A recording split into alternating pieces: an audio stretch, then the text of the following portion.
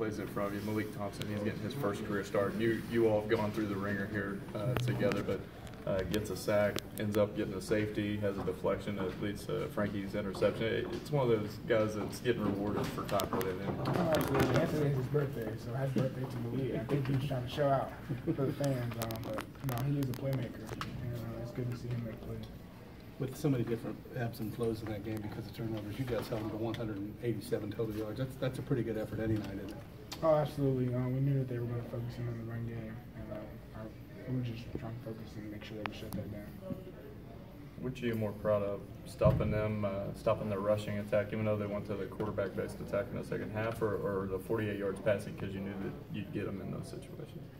Um, I'm just glad we won. honestly. I'm really just glad we won. Um, and we have to do better in some situations right there. And uh, we're going to focus on that tomorrow. We're going to enjoy this win tonight.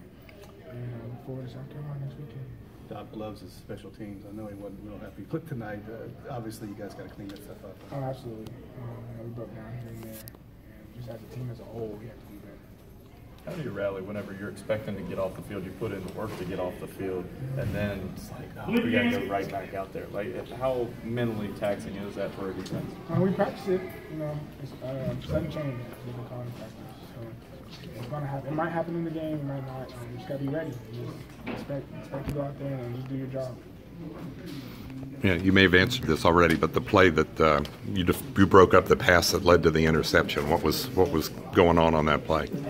Uh, I think some of the guys were mad at me that I didn't inter- intercept the ball, but um, know, I just I was just trying to keep him keep him from catching it. Um, Yeah. Sometimes it's not as, I think as perfect as as it looks. Um, that, but that was good defensive teamwork. I think you hit it, and then uh, Malik hit it, and then um, uh, who caught it? Uh, Jalen.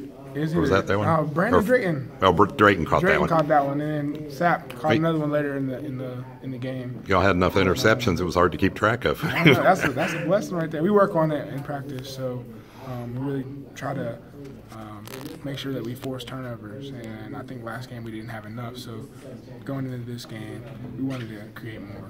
and then um, took away some momentum from them there when I think you forced a fumble on the uh, on the kickoff that uh, Rohrwasser ended up recovering. Yeah, um, I told the, the the guys, you know, that's by the grace of God that I got that out. I just was trying to make the tackle. Uh, I'm just glad that we recovered it. Yeah, that's something y'all work on too, right? Is get loo- making the ball loose. Absolutely, it's a it's called a turnover circuit. The coaches really get on us about you know as a defense we have we need more turnovers. Um, so Yeah. All right. Thanks a lot.